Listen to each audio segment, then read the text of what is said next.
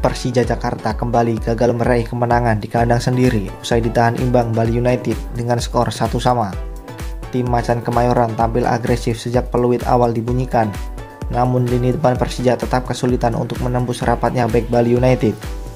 Sebenarnya Persija berpeluang mendapatkan penalti saat Witan Sulaiman dilanggar di dalam kotak penalti. Namun anehnya wasit justru memberikan tendangan bebas untuk Persija. Hal ini tentu sangat merugikan Persija yang sedang membutuhkan poin demi naik ke papan atas klasemen.